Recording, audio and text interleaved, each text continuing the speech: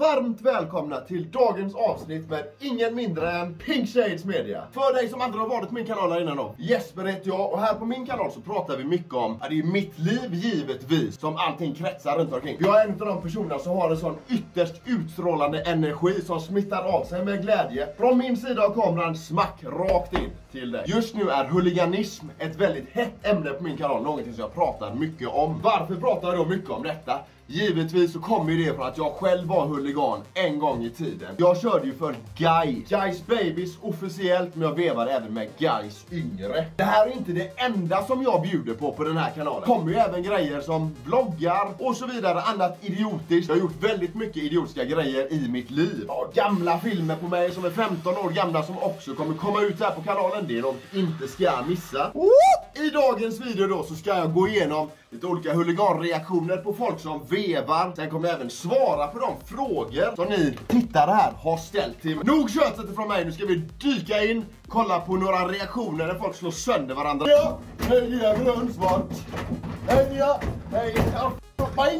Då! Där, då ska vi ta och dyka in i dagens grejer. Jag har laddat upp ett vev här emellan DFG och KGB. Och för dig som inte vet nu då, DFG står för Djurgårdens fina grabbar. Och så har vi då KGB som står för Kamratgänget Bayern. Så ni har koll på vilka som är med och vevar för vilket fotbollslag då, så ni inte sitter där bara vem är det? Och efter denna reaktionen så dyker vi in i lite frågor och sen så bjuder jag givetvis på ett vev till fotbollsfotografen. Om du ser min video här, ta och blås över och skicka om du har någonting som du inte har släppt. Så kör vi givetvis en reaktion på det. Kaliber, sponsra mig med snus och gör reklam åt er. Det är så många som säger bara när plankan svider blir det Kaliber. Men jag tycker Kaliber är en av de godaste snusarna som finns. Jag får riktigt betalt för att säga det här. Bangers alltså. Det regnar flaskor! Ah! Kolla här nere, det bara flyger flaskor. Jag vet inte vad det är som är så gött med det. Möts i en drabbning så här, har du en glasflaska så då slänger du den, det gör du bara. Kolla på alla regnande flaskor, det är riktigt gött alltså. Får du en flaska i huvudet så kan du somna ganska duktigt. Bort med ditt finger. Och de bara lubbar. Springer iväg. Hur många har ni som kommer på andra sidan här som ska med snuten? Kolla här nere, han snubblar på dig. Bara simmar framåt typ. Nu dyker vi tillbaka tar vi lite frågor. Sen ska jag ta och hitta något mer roligt här vi kan kolla på. Något när det smäller också. Fortsätt, fortsätt, fortsätt. Älskar dina videos. Sen så blir ju meningen fel va? Eller vad säger du gubben? Blåvitt är inget bra. Det är klart jag ska fortsätta. Jag har ju nyss börjat min YouTube-karriär. Och jag ska shht, rakt upp till toppen. Riktigt bra video, fortsätt med det här. Klart jag gör det gubben. Vi tar och betar av de förkortningar som ligger högst upp på listan. Alla filmer ligger inte med på den här listan, men jag tar de som finns här. Då kommer jag uppdatera min lista med tiden. Vi börjar min lista med de filmer som ansågs vara viktigast år 2021. Vi börjar med VM vilket är Wiseman. Och det här är ju en firma för IFK Göteborg. De har ju även underhuggsfirmer VM. När jag var aktiv så fanns det ju många underhuggsfirmer till just VM. Så vi ska ta och rabbla upp alla de här nu då. Nu börjar vi med GYD, som är Gothenburg Youth Division. Och sen har vi även YCG som är Youth Crew Gothenburg. Sen så hoppar vi vidare till GU. De har jag kört mycket mot mina dagar. Som är Gothenburg United. Sen har vi även GYB, som är Gothenburg Youth Boys. Om man ska lyssna på vad som står här så har de tryckt ihop allting till en stor firma som bara är VM nu. Djurgården som är nästa och då har vi ju DFG som står för Djurgårdens fina grabbar. Sen har vi även DU, Djurgårdens yngsta. Och sen har vi NSS som är Natural Selection Stockholm. Sen dyker vi in till KGB som är kompisgänget Bayern. AIK som har Firman Boys och AIKs yngsta. Nu rabblar jag bara de underhuggsfirmor som står listade här på skärmen som ni kan se. Vi dyker vidare till Helsingborg, nere i Skåne. och där har vi Frontline, FL, HBGU som är Helsingborgs yngsta. Och sen har vi ju HP som är High Potential. Så har vi Malmö, Brigada. Och så har vi finaste laget av dem alla, Guys. Som numera kallar sig själva Skogspatrullen. När jag var aktiv och körde själv så hade vi GM, Gärningsmännen. Sen hade vi GY, Guys Yngre. Och så har vi då GB, Guys Babies, där jag själv var officiellt aktiv. Innan dess att jag flyttade till USA för att plugga filmproduktion.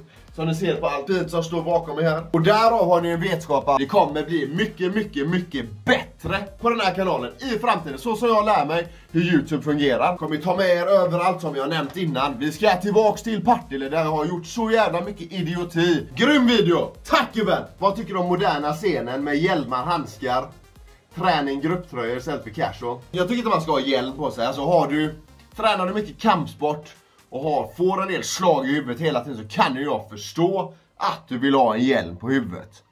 Det är inte så konstigt, men jag själv har aldrig kört med hjälm i ett vev. Kan någon ta tag i hjälmen, slita ner dig i backen och knä dig i ansiktet eller vad fan som helst. Men någonting du absolut måste ha på dig det är ju tandskydd. Du vill inte få dina tänder utslagna. En gubbe från min firma, tänker inte nämna han vid namn. Han bröt ju käken på tre ställen liksom. Men Hård gubbe, han gav fan inte upp, han fortsatte ju veva med en krossad käke. Den knäcktes på tre delar. Men han körde ändå, kände han efteråt bara, vad fan är det som är fel? Det här är min god gubbe. Jag vet att du är här inne och skriver ibland.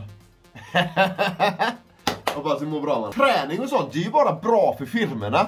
Och just om man vill testa olika taktiker.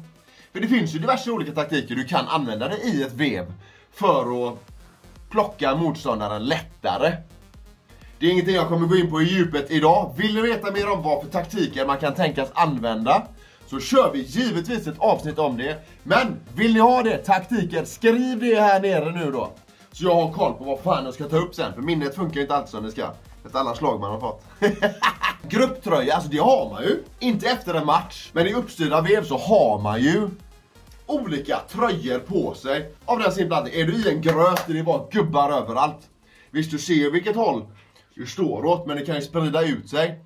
Hamnar du på kanten, förhoppningsvis så känner du igen de gubbarna som är från din firma. Du kanske är ny, kanske inte har lärt känna alla än. Då kan det vara bra att veta, de som har den färg på tröjan ska ha sig en käftsmäll. Och de andra har min rygg. Linder bör du ju också ha på dig. Eller alternativt suspensoar, knäskydd. Är du skadad någonstans, linda upp det ordentligt. För det smäller ju hårdare utomhus på ett uppstyrt vev kontra om du är inne i en ring och tränar liksom. Jag hoppar fram och tillbaka till kameran så här. Det är min nya taktik som jag kör. Att ni ska hålla fokus uppe ännu mer. Jag vet, jag har energi som jävla idiot. Och nej, jag såg det någon som skrev det. Jag är inte laddad, jag är inte tjack. Det här är min naturliga energi. Tänk på den lite gubben. Jag har ju den här energin När jag brinner för någonting så kör jag det till 110% Och det finns ingenting som kan stoppa mig. Vem fan ska hindra mig? Satan så fin du är. Fortsätt gärna med det du gör. Tack så mycket. Och givetvis ska jag fortsätta. Jag har ju nyligen börjat här på Youtube. Jag har bara hållit på i Ja, det kanske är 3-4 månader nu på ett ungefär. Än så länge har jag 16 videos ute, tror jag. Har ni inte kollat på alla, gå in och gör det nu. Har du vevat mot Malmö True Rockers? True Rockers har jag kört mot. Det finns en video. Nu mina kära vänner, följare och allt annat folk som sitter och kollar. Har du inte gjort det än, tryck på subscribe. Glöm inte att likea videon och kommentera för kung och fostran. På onsdag kommer ut en vlogg, den ska ni fan inte missa. Glöm inte kolla på den. Vi drar igång nu! Kom igen då gubbar! Känslan här är att gå närmare och närmare. Det så här. Du vet inte vart du ska ta vägen alltså. Man blir så jävla taggad. Kom igen då! Woo! smiskar duktigt alltså. Nu kolla på han här. Han bara står och köttar. Det är det du gör. I en gröt så här. När du står inne i smeten så här. Det är ingen idé att sparka. Det har jag nämnt innan. Om du ska bara upp och kicka någon i huvudet. Det älskar jag att göra. Eh, jag är kickboxare i grund och botten. Men i ett vev så här, nej. Skulle jag inte göra. I så fall pushkick eller sidospark. Så att den som håller distansen till den gubben du vevar emot kontra att bara ladda upp ett ben så, då får du vara riktigt jävla snabb. Och så är det dumt, kan komma någon från sidan, tjuvsmälla dig så går du ner i backen liksom. Veva gött alltså! Kom igen då gubbar, för fan. Kom igen då! Berätta historien om när du blev mordhotad i en lägenhet. Den ligger ute redan. Otroligt skev händelse. Gå in och tryck på den, ligger på kanalen. När jag blev mordhotad i min lägenhet. Jag blev även biten av en människa. Gå in och kolla på det. Reagera på Kings of Street och Iceman. Den reaktionen drar jag i nästa video som kommer till... Ja, det blir nästa helg. Vill höra om alla förkortningar? Jag tog ju några där uppe förut. Länge sedan man kollar varje sekund på video på tuben. Så jävla gött att höra. Jag vill att ni ska hålla fokus här på mig när jag sitter och håller på och flyger upp och ner och studsar som en jävla idiot. De här glasögonen hade jag på mig när jag trillade ner och krossade mitt hälben. Snart så kan jag släppa den videon. Ni kommer älska den. Jag hänger på en bro. Woohoo! Så trillar rakt ner i backen. Jag har visat mitt ärr innan. Jag har det givetvis på video. Som jag nämnt innan, jag är även stuntman så jag gör ju mycket idiotiska grejer. Fy fan vad den smakar rövhål. Jag fortsätter med alla resterande frågor i nästa video. Och till alla er som har hängt med hela vägen till slutet på denna video. Ni får fan en applåd alltså. Är du en av dem som har hängt med hela vägen till slutet av videon? Skriv det här nere så jag vet vilka som är de bästa som kollar på mig. Nog tjötat, nu ska jag ta och redigera ihop det här. Så syns vi i nästa video.